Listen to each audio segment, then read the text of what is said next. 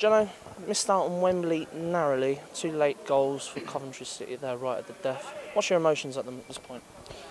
It was just a, it was just a shame we couldn't get the goal a little bit earlier. Obviously, I think even if we even if we got the goal on 80 minutes, we knew it's just sort of a, a mind boggling thing for them. We knew they'd sort of collapse. You could you could see it first half, and I think uh, the longer the game went on, sort of grew a bit more confidence and put the foot on the ball a bit. But as, as, as you say, Wembley is over for now.